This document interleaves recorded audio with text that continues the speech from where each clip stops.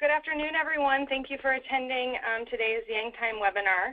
Um, we have distribution, past, present, and future with Brian Cruikshank. Brian is the director of the University of the Aftermarket.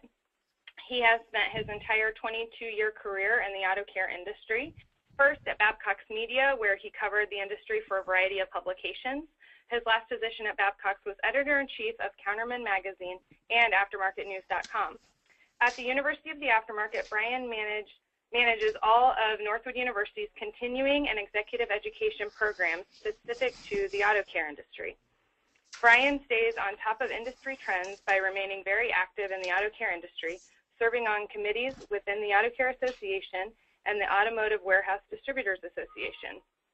He is currently the chairman of the Northwood University Automotive Aftermarket Advisory Board, past board member of the Automotive Training Managers Council, and currently serves on the board of the Global Automotive Aftermarket Symposium Scholarship Committee. He was honored with the Mort Schwartz Education Award and the AIA Young Executive of the Year Award and the AWDA Pursuit of Excellence Award. He earned his Automotive Aftermarket Professional designation from the University of the Aftermarket in 2004 and his Master Automotive Aftermarket Professional designation in 2010. He is a proud graduate of The Ohio State University and Northwood University's DeVos Graduate School of Management, where he earned an MBA. So without further ado, I'm going to pass it over to Brian Cruikshank and enjoy the webinar. Thanks, Katie. Uh, yeah, this is Brian Cruikshank, and I looked over the uh, the participant list, and there's lots of lots of friends on the list. So um, glad that you guys are here. Um, so let's let's begin. I have lots of stuff to cover, so I don't want to I don't want to delay. Um, the things that I'm going to cover in this webinar, um, we're going to focus on some history, and I and I think it's initially to in, in, to uh, focus on history because in order to understand, I think, where distribution is going, it's important to understand where distribution started and where it's been. I think if you look at the, the trajectory of distribution over the last 30 years, you'll get a good sense of where distribution um, is ultimately headed.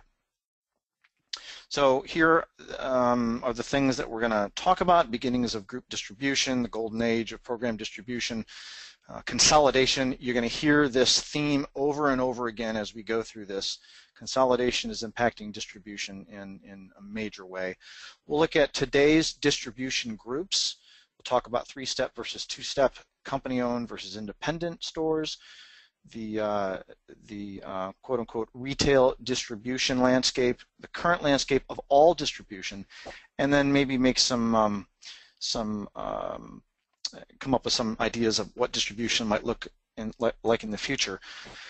Um, unlike past webinars, I've asked Katie to allow questions as we go. Um, the questions will come up in a little box on my computer. I, am going to try to get to them if I can. Um, if you have a question, please identify what company you're with. And if I can get to that uh, question, I will um, or it might be something that I'm going to get to a little bit later. So if I ignore your question, it's not that I hate you, it's just um, I uh, may be getting to it later in the webinar, okay? So here we go.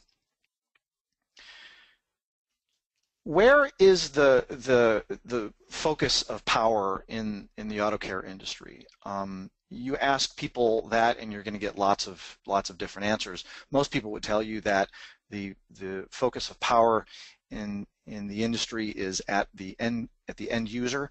So that could be the the motorist who decides where to get his or her vehicle repaired, or um, more commonly in the industry, you might get the answer that it's it's the service the service technician, the person who is making the branding decisions and, and deciding how and where and when to to service a vehicle. My contention is that the focus of power in the motor vehicle aftermarket is at the distribution level. These are all these are where all the major customers are. These are um, the groups in the industry that are making the biggest buying decisions. And with that kind of influence comes great power. I mentioned that there is great consolidation going on um, within within distribution, and with consolidation, this power is becoming more centralized on a smaller number of customers. And this can put great pressure on, uh, on the industry, particularly at the supplier level. And we'll talk about all that stuff as, as we get through this. So just to remind everybody what the University of the Aftermarket is, if, if you don't know, uh, it's simply just an, an, educational alliance of the major trade associations that provides university level industry specific education programs to motor vehicle aftermarket professionals. Um, the University of the Aftermarket, although owned by the major trade associations, is, is housed at Northwood University. Um, here uh, on our campus in, in uh, Midland, Michigan, although I'm from an, I live uh, and work out of an office in uh, Pasadena, California. Uh, here's uh, just a, a, picture of our Sloan Family Aftermarket Building, um, sorry, the Sloan Family Building for Aftermarket Studies on our Midland campus. Uh, it's one of many buildings on our campus, but it's where the University of the Aftermarket lives, and it's where we host many of our, our major programs. Those of you who have attended or will attend Leadership 2.0, uh, it's held uh, here at the Sloan Building. The University of the Aftermarket uh, grants certificate programs. So if you see AAP or MAAP after somebody's name, that means that they have uh, um, gone through the procedure of, of accumulating credits by attending educational programs throughout the industry. Um, and uh, they're granted a AAP or MAAP designation after their name once they um, once they uh, fulfill all the requirements. There's more information on that at our website, universityoftheaftermarket.com. Here's some upcoming programs for the University of the Aftermarket. We just completed Aftermarket 101, which is usually for folks who have six months or less experience in the industry. Uh, that program sold out, so we're going to do it again in October. Heavy duty leadership will start in July. Um, we do a, a, data standards program in August. Uh, leadership 2.0 will take place August the 23rd through the 28th, and then reconvene again in April of 2016. Um, this is the last class. What a good-looking group of aftermarket professionals. Um, I know that there is a Yang scholarship to this program. It is a full scholarship. This program is $6,300, and so the scholarship covers the whole thing. So if you're interested in um, in attending this this program, um, Yang is offering a scholarship and there's a procedure to, uh, uh, to apply. Okay, enough of that. All industries go through a life cycle. And I, and I want to I want to lay out what that life cycle is so that you can see what the life cycle is and, and, and you'll see how it applies to our industry. It starts with the entrepreneur. This goes back you know, maybe 100 years in our business. It starts with a, a somebody who has an idea, they're going to fix cars or they're going to make a product or whatever. And so they have this idea and they start on their own as an entrepreneur. And it gets big enough that they need help. So they, they bring in friends and family. Eventually this becomes a, a legal company. Eventually these local companies become regionalized. After that we see syndicates of these regional companies forming. Then we see national companies. From there, we see the influx of public money. Companies go public on the New York Stock Exchange, the NASDAQ, the Toronto Stock Exchange, the DAX, the Nikkei, whatever. We see private equity and international money and internationals coming into domestic markets. Um, this is how pretty much all industries go. Our industry is absolutely no different. So let's go back to that entrepreneur, family, legal company era of the motor vehicle aftermarket. So there were stores all over the United States that had to uh, sell product to service dealers or to DIYers to fix cars. And there were warehouses all over the United States. Eventually, because of inventory requirements, to fulfill um, the uh, the inventory requirements of stores. So these dots on this uh, on this this map, uh, this is not uh, accurate at all. Back in the 1920s, there were thousands and thousands and thousands and thousands of warehouse distributors all over the United States. And uh, each one of them dealt individually with the manufacturers. They struck their own deals. Um, they went to market under their own brand. It was it was fairly uh, inefficient and very, very, very, very fragmented. By the way, today we have about five to 600 warehouse distributors in the United States. Eventually, these warehouses, because of uh, because of consolidation, became became regionalized, and um, and so that's when we entered the regionalization era of warehouse distribution. So we had far fewer warehouses, and they were servicing uh, areas regionally. In 1925, a group of, of these warehouses got together in Dearborn, Michigan, and they had a meeting because they had an idea. And the idea was this. If we got together and we bought collectively, maybe we could get a better price from the manufacturer. So there were 68 warehouses at this meeting, and they decided, yeah, we're going to form an organization and we are going to buy collectively from the manufacturer. They had to decide what they were going to call themselves, so they called themselves the National Auto Parts Association, and that later became NAPA. So originally there were 68 independently owned warehouse uh, warehouse distributor uh, members of the NAPA organization. Uh, in fact, if, if you call Atlanta, the uh, NAPA headquarters today, they'll still refer to it as NAPA. They answer the phone and they say, it's a great day at NAPA. So this idea of, of warehouses becoming part of something bigger to um, to bring some efficiencies in their buying really um, became uh, very very prevalent in in the United States. So here we are back to our back to my very inaccurate um, map of the United States. All these warehouses, all these thousands and thousands of warehouses got together and formed buying groups. Now, this map is uh, not inaccurate. In 1979, these were the locations of the buying groups in the United States. So all those thousands of warehouses all joined these buying groups all over the United States. Um, I, I, have the Napa logo up there in Dearborn, Michigan, uh, because that's where they were headquartered initially. Um, I think everybody knows that um, that Napa is now headquartered down in um, uh, in Atlanta. So Big A was was uh, was in Houston, and Bumper to Bumper was in Kansas City, and CarQuest was in Memphis. Uh, Parts Plus was in Memphis, and it still is today. Pronto was in Springfield. So this idea of of the program group became the prevalent method of traditional distribution in the United States. And here's just a definition of, uh, of program group. It's a group of independently owned WDs that pools resources. Um, its primary function is to buy on behalf of its members, but they, they do a lot of other things too, um, and those things were added. Those were added over time. The 1970s and 80s were considered the golden age of program distribution, and here's the list of distribution groups in 1979. The ones in yellow are the ones that either still exist today or aspects of them still exist today.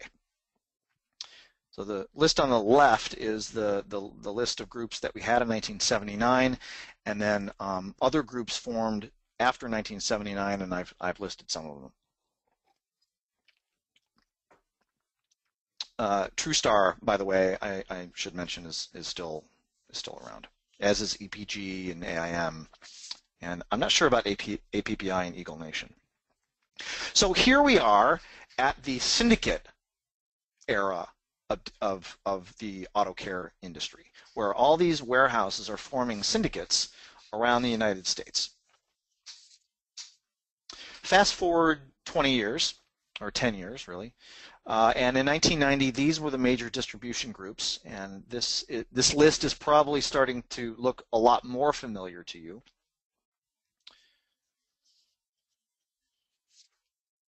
back to our friends at Napa, there was consolidation going on within the Napa organization. I originally said that there were 68 warehouse members. Um, by the mid 1990s, there were only three warehouse members of Napa. What happened to the 65 warehouses? Well, they were acquired by primarily the Genuine Parts Company. Now, the Genuine Parts Company was not the largest member originally of NAPA, but over time, through consolidation, they acquired up many, many, many of the members of the NAPA organization. So by the mid 90s, we ended up with the NAPA organization that had, a, that had essentially only three warehouse members. This consolidation of the groups was happening all over um, the United States in just about every single group.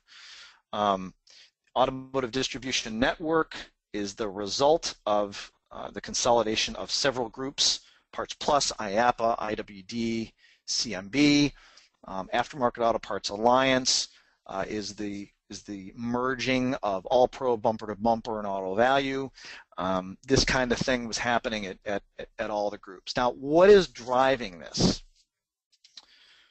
What's what's driving it um, if you remember back to the NAPA example, is is member consolidation. So you often have a member within these groups that buy other members. So you'll end up with, you might start with 68 warehouse members, like in the in the uh, example of Napa, and then that that ends up getting down to three or two or, or whatever, um, because one member or several members are buying up all the other members. Now, if you look, think about the example of, uh, of, of, Aftermarket Auto Parts Alliance, where we had many groups merging together, all pro, bumper to bumper, and auto value, why would, why would that happen? Well, sometimes members consolidate with, with members from outside their group.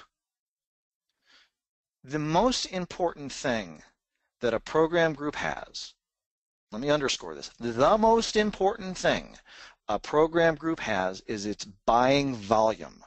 If it loses volume, it really can't exist. I'll give you an example. There was a, a group called IAPA, and the largest warehouse member of IAPA was a company called MAWDI. It was owned by the Buzzard family, and it stands for Middle Atlantic Warehouse Distributors. And MAWDI, as the largest member of IAPA, had the vast majority of the volume in the group. Well, in the late 90s, a company part of the Parts Plus group called Uniselect acquired MAWDI. Okay, so MAWDI gets stripped out of IAPA. Well, what happens to IAPA? IAPA is now left with, you know, really not enough volume to make purchasing, uh, to make good or efficient or beneficial purchasing decisions on, on behalf of the members that were left. So IAPA really had no choice but to merge with another group. So here we are with the, the groups that we have today, Aftermarket Auto Parts Alliance. A lot of people just call it the Alliance. Automotive Parts Services Group. I'll talk about that in a second because that's very, very new. Automotive Distribution Group, people call it ADN or the network. Um, APA, people call it surprisingly APA. And then there's some some niche groups uh, like EPG and, and, and TrueStar. So the legacies of these consolidated groups still remain. Aftermarket Auto Parts Alliance still goes to market under two brands, Auto Value and Bumper to Bumper. Now it's not because they created these two brands, it's because these two brands are the legacies of two program groups that were merged uh, into the alliance. Likewise, the recent merger, well, they call it a partnership, between Pronto and Federated, you know, we still have these, and we, and we will, um, these two brands, Pronto and Federated in the market. Um, same thing with ADN. Speaking of ADN, uh, this legacy leads to really sometimes some very convoluted uh, complexity. ADN, because of the the the uh, the groups that uh, that it, that it has uh, merged together ends up dealing with um, with like all these these uh, um, brands, and that's just that's just because of legacy.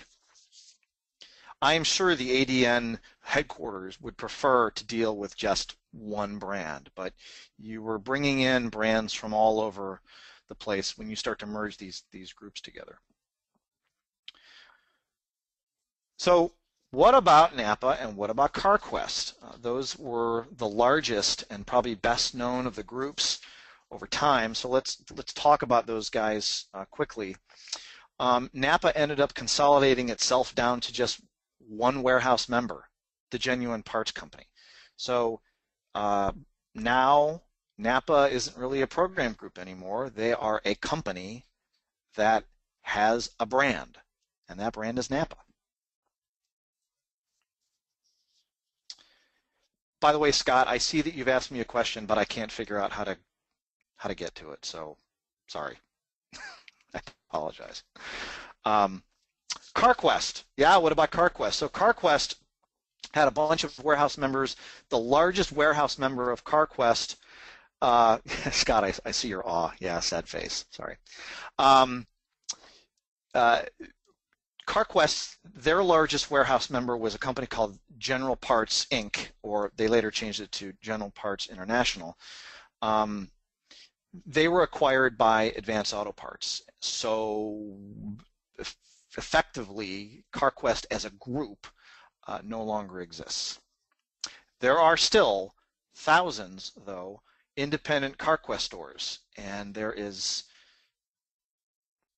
speculation about what's going to happen to those independent CarQuest stores. Uh, they could be right across the street from an Advance. So um, it, it, it, uh, it will be very, very interesting to see how all that shakes out. So here's the logos of the major groups. I put Pronto and Federated kind of on top of each other because they are the ones who recently announced, um, they're, they're calling it a partnership rather than a merger. Um, they have partnered into a group called uh, The Group, or Automotive Parts Services Group. Uh, down at the bottom, you see kind of these niche players, TrueStar and, and EPG. On the heavy duty side, these are the two major distribution groups of, uh, on the heavy duty side, Vipar Heavy Duty and HDA Truck Pride. It will not surprise you that HDA was a separate group at one time and Truck Pride was a separate group at one time and they merged. And so now you get uh, the, uh, the new name of HDA Truck Pride. So this consolidation of groups uh, just keeps marching on and on and on, and it's because of consolidation of the warehouse members within the group. I'll give you three examples. So I mentioned GPC acquiring all the warehouse members within Napa. So now you end up with Napa that, that just has, it's owned by GPC. O'Reilly used to be a member of Auto Value, and they got big enough that they didn't need to be in a group anymore. So they left. Now imagine if you're that group and O'Reilly leaves you. That's a lot of volume to lose. On the Fisher side, Fisher is the largest warehouse member of Federated Auto Parts. And Fisher, uh, over the years, is slowly uh, acquiring more and more federated members.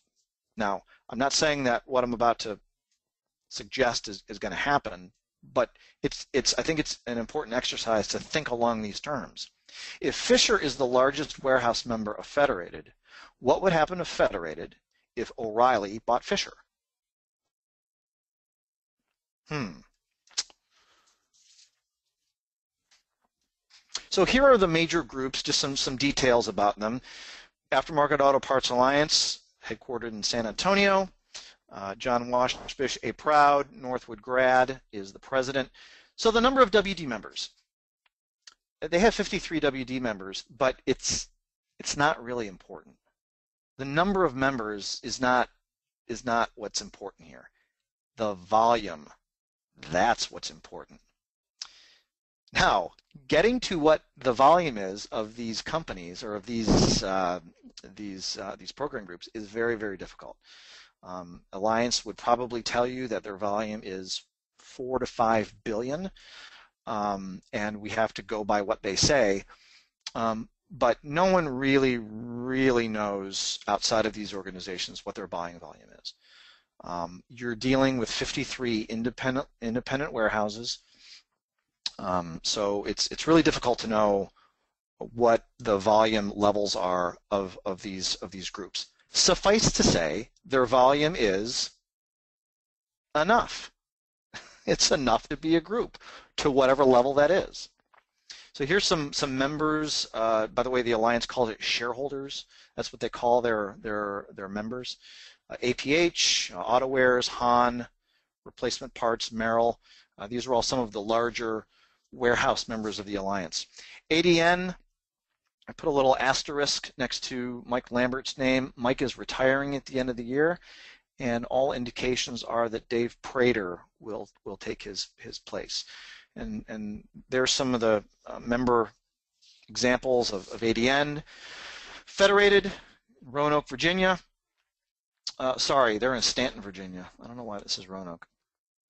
Um, by far, the largest member of Federated is, is Fisher. Uh, Pronto, here's some of the major members of Pronto.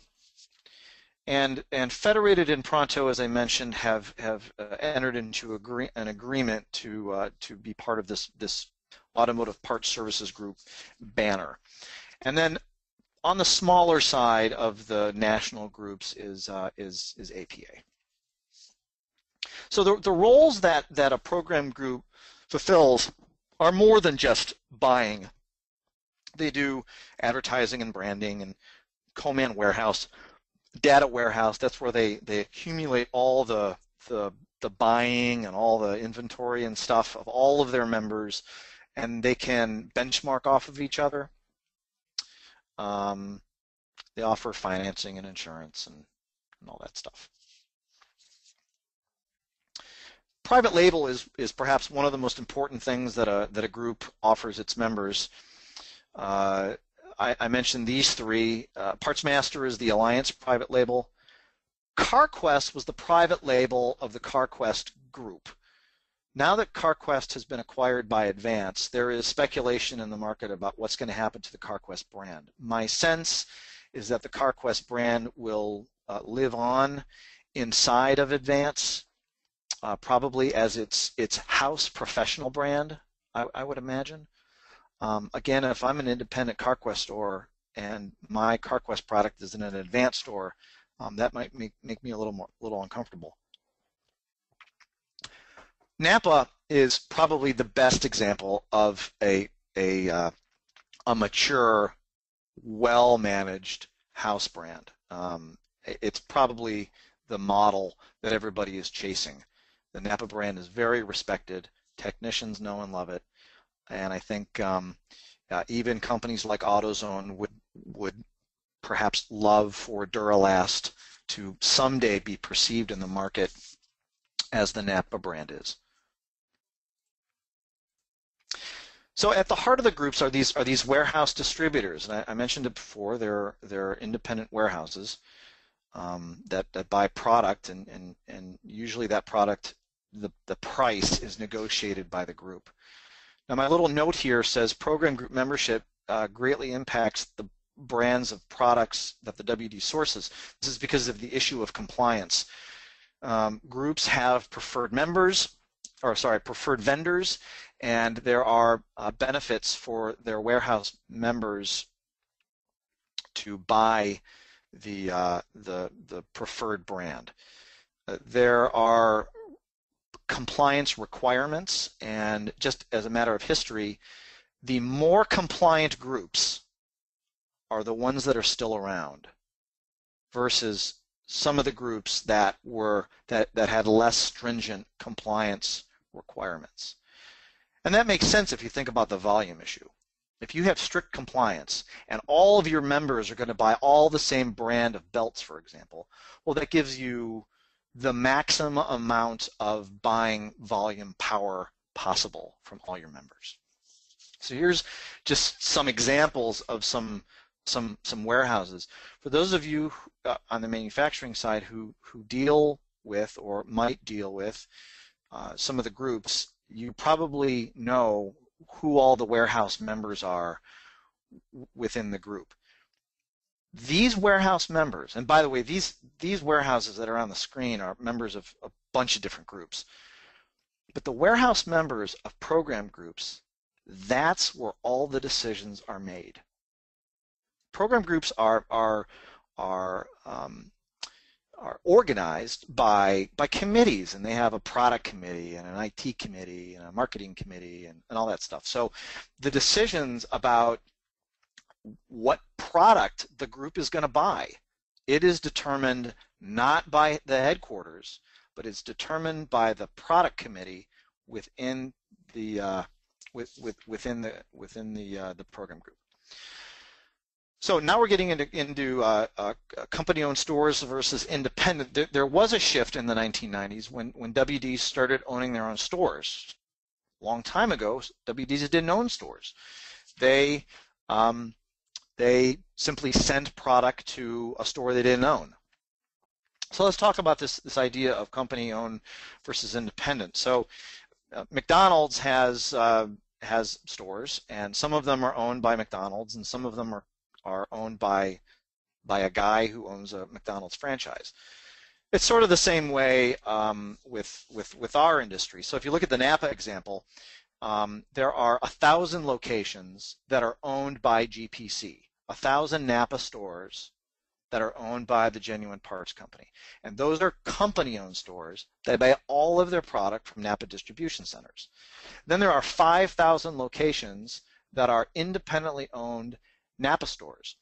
They probably, well, they do buy the majority of their product from Napa, but they they don't have to.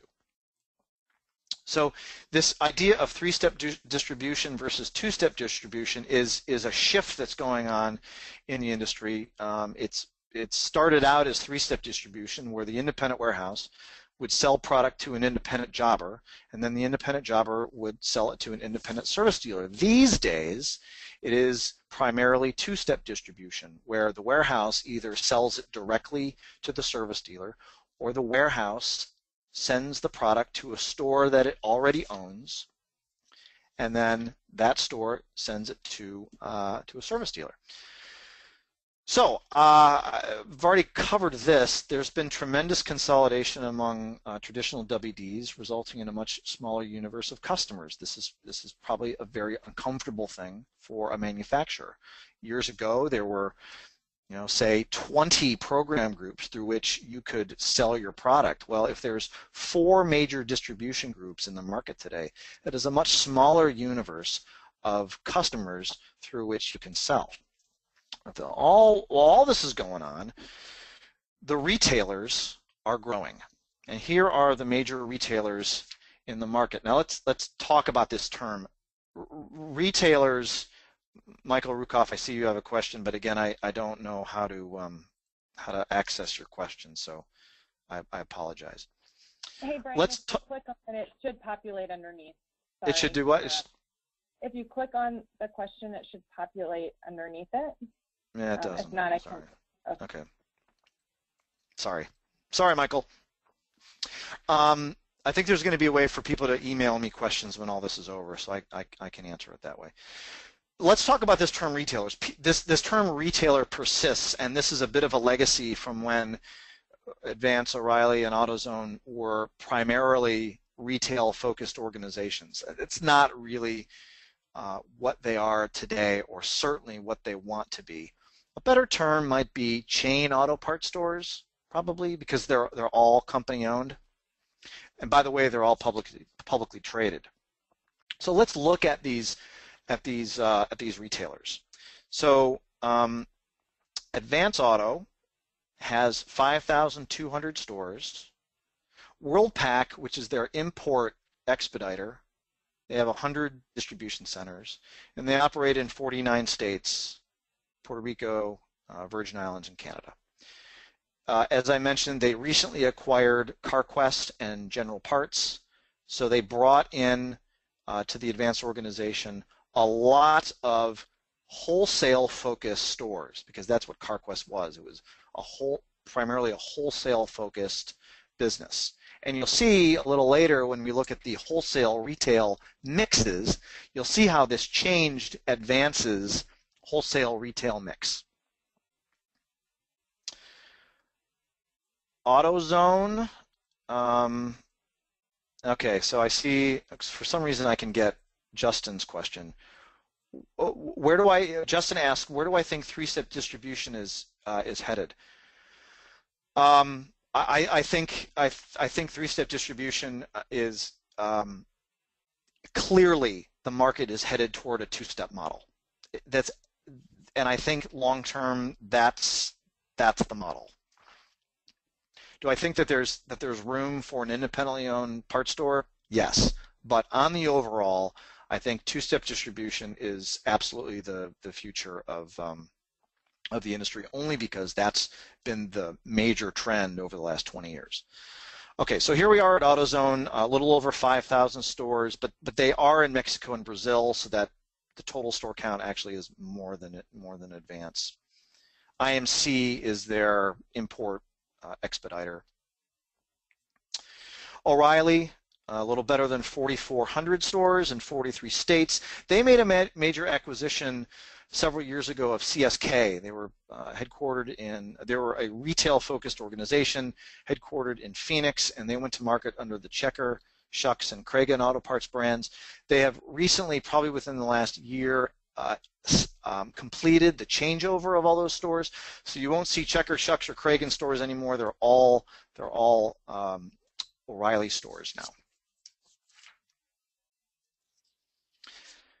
The goal, I think, of of O'Reilly and, and AutoZone and Advance is is is to develop a, a mix of sorry of 50% retail walk-in sales and 50% wholesale. I put O'Reilly uh, kind of larger on the slide because for a long time that's what O'Reilly was. They uh, they were very successful at maintaining both 50% wholesale and 50% retail.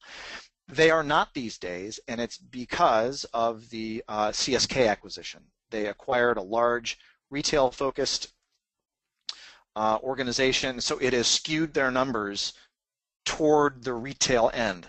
Um, O'Reilly is slowly bringing more wholesale business into those old CSK stores.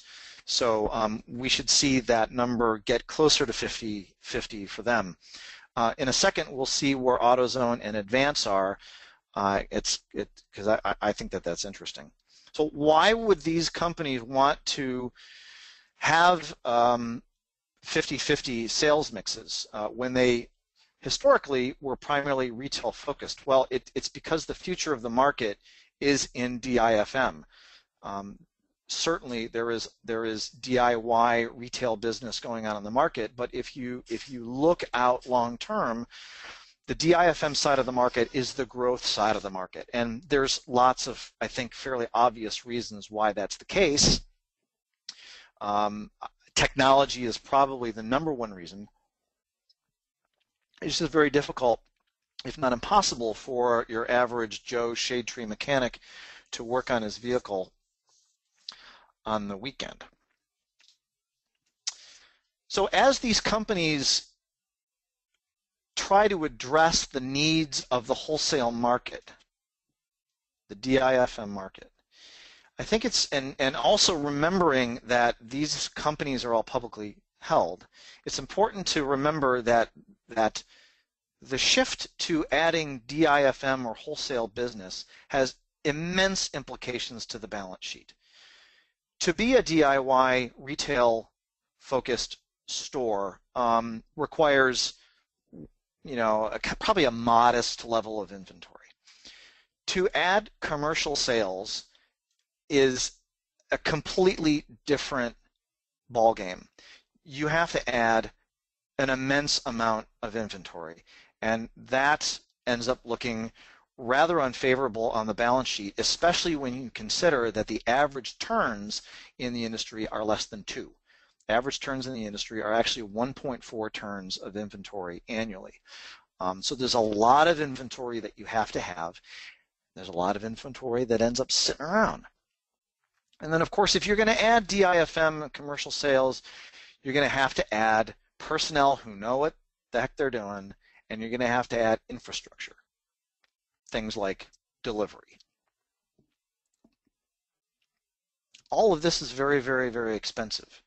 The retailers probably, this is just my, my personal uh, thoughts on this, because they're publicly traded, so they have to show growth, and so they said, okay, well, we're going to show growth by adding commercial business. That's how we're going to grow our business and make our shareholders happy. Well, if you're going to do that, now you got to write a big check for all of this inventory. So I think the retailers were like, oh, well, what are we going to do? We don't want to buy all this inventory. So the AutoZone came up with this idea of pay on scan where uh, manufacturers would consign inventory to AutoZone and the inventory would be owned by the manufacturer, but it would live at uh, live at AutoZone and the the manufacturer would get paid when the product was purchased. So when it was scanned for purchase, then the manufacturer would get would get ultimately paid. Lots of problems with that.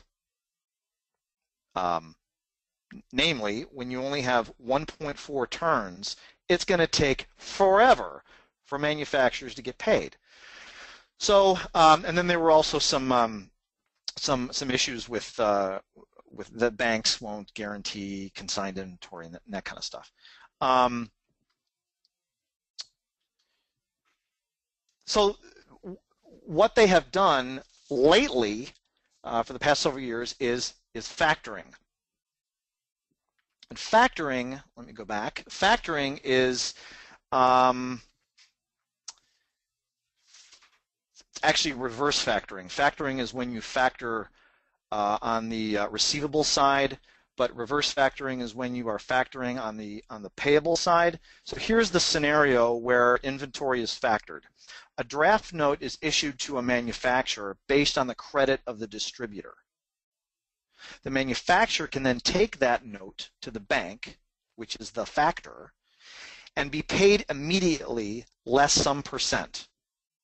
The getting paid immediately thing is important because AutoZone and others like AutoZone have managed to negotiate terms that sometimes can exceed 400 days.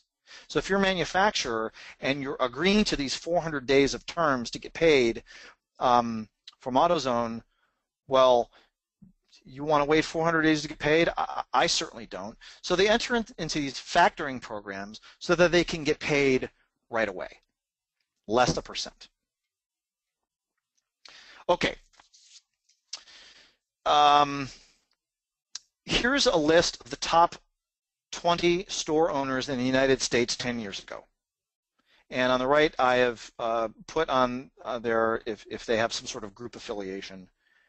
Uh, and then on the left is the name of the, of the company plus uh, how many stores they had in 2005.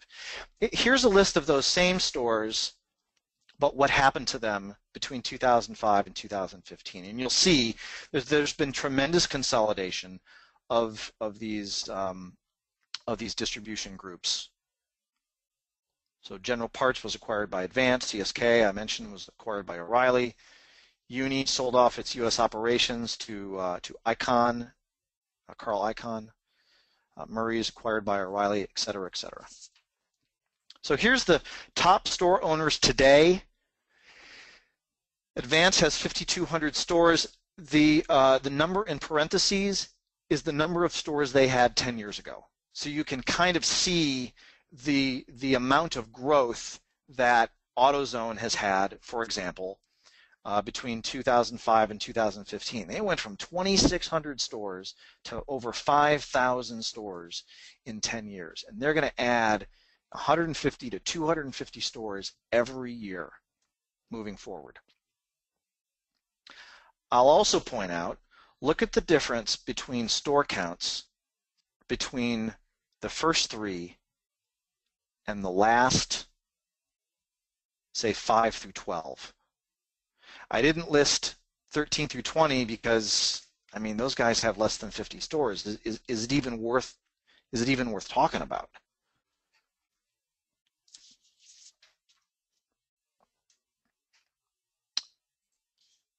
So here we are on the retail versus wholesale um, mixes. So the first number is the retail mix, is, is the retail percent of business. And uh, the second number is the wholesale mix of business. So Advance Auto Parts was primarily a retail business. Um, probably looked much closer to what AutoZone is, 85% retail, 15% wholesale. Advance, um, geez, what, what they did is they went out and they, they bought wholesale business because they acquired GPI, they acquired all those CarQuest stores. They essentially bought wholesale business. Pep Boys is, is, a, is a, very different model than, than what most distribution companies are doing. Um, you'll see that, that 11% of their, of their uh, business is service. Um, many, not many, but not all Pep Boys locations have have uh, um, bays. Fisher, uh, for whatever reason, uh, indicated when they reported that they have they have no retail business. I I I, I tend to discount that. Um, they're probably more likely 25% retail, 75% wholesale, and and that's what you're going to see mostly with a wholesale focused organization. Yeah. So we kind of went through this whole life cycle, right? From the from the entrepreneur to the family to the company to the regional to the syndicate to the national then the growth of the publicly traded companies AutoZone, Advance, O'Reilly, GPC, Pep Boys, those are all publicly traded. Now we're seeing the influx of the other, these other entities that are entering our market and we, we haven't quite figured out what impact Amazon, Rock, eBay, and others like US Auto Parts are going to have on, on the market. I will say this, the 30 minute delivery, the, the success of these guys in the DIFM space hinges on the 30 minute delivery. So if the 30 minute delivery, if that customer expectation disappears for some reason, then that gives a much greater foothold or potential for companies like Amazon and Rock Auto and eBay, which might not be able to get you the product for a, a day or so. So I mentioned that we've kind of gone through the, the, the entire life cycle of, of, uh, of an industry and we are now at the, the end stage where we have public, private equity, and, and international and international companies and money uh, making great, uh, having great influence on um, on the distribution space. So the future, um, WD consolidation absolutely will continue, and I think in the next five years we're going to see um, some major, major consolidation going on, continuing to go on, go on in the uh, in uh, um, among WDs. That will probably necessitate program group consolidation. Um, we may see the uh, the increased interest in distribution by by uh, private equity. The retailers, the publicly traded chain stores, will absolutely will absolutely um, continue to add stores and, and make acquisitions. I, I think those guys are, are going to continue to grow a lot. Remember, they're publicly traded. They have to grow. Um, and pay attention to their stock price too. Uh, AutoZone, because of this factoring program, has an accounts receivable to inventory ratio of 115%. That means that AutoZone effectively owns no inventory. They're throwing off over a billion dollars in free cash every year. And so they've been able to buy back their stock price. And I think these days AutoZone stock price is near um, near $500 a share. And we will certainly continue to see new entrants. And um, you know, the impact that, that the internet's parts vendors will have on the market, I think is, is something really, really to watch. I know that, that Amazon and others have made some strategic partners with some warehouses that maybe act as fulfillment for them. Uh, and it will be just very interesting to see the impact that the internet uh, parts guys will have on distribution. Uh, it is a fascinating, fascinating part of the industry to watch. Uh, I, as I said in the very beginning, I believe that that the very center of power uh, of the of the motor vehicle aftermarket of the aftermarket industry um, is is is squarely on distribution, and where distribution goes, everybody else is going to follow. I truly believe, and I don't have any any data to support this, but I do believe that distributions consolidation um, is the uh, directly impacts manufacturer consolidation. So if we agree that WDs will continue to consolidate, then I would believe that manufacturers will continue to consolidate as well. Uh, let me see, I see that there's a question here. Referring back to two-step versus three-step, you said you see two-step prevailing in Napa's case with their client base being over 83%. Do you see GPC acquiring more independent Napas, converting them to two-step? You know, that, that that's an interesting question. Uh, no, only because Napa's um, Napa's store count the, the, the number of stores that GPC owns has stayed at about 900 or 1,000 for a very long time. So that doesn't seem like something that that um, I've seen no movement at GPC to indicate that that's that that's true. I think I'm at my yeah. So I'm I think I'm I think I made it. So thank you very very much for your uh, for your attention. Um, please send me questions. I know that that uh, Courtney has set up some sort of um, way that that you guys can send me questions. I'd, I'd be happy to, to answer those. I, I covered a ton of stuff, and uh, I really really thank you for your for your attention. Brian, thank you so much for um, that webinar. That was great, and I apologize for the technical difficulty difficulty with the questions. I have them all written down. Unfortunately, we're out of time for today, so I will submit those to Brian and we'll get those answered. But we are we have made some time available for Brian to answer questions on Yang Connect. Um, so look um, in your email for the announcement about that, but I believe that's going to be next week. So there's going to be um, some time for you to submit questions and he will be able to answer them. So stay tuned for uh, Yang Connect um, on that. And Brian, if you could go to the next slide. Um, and Yang is now accepting applications um, to award one deserving Yang member a scholarship uh, for Leadership 2.0, which Brian mentioned at the beginning. So um, if you haven't done so already, check that out. Um, it's available at autocare.org slash Yang. And then our next webinar is with AutoCare. Um, Andres, um, can you can you to. Thank you. Globalization is impact on the auto care industry. Um, so registration will open up next week. Um, so check your email for that. But Thursday, June 18th at 3 p.m. Eastern Time. So thank you everyone for your participation and have a great weekend. Thanks everybody. Katie, you still there?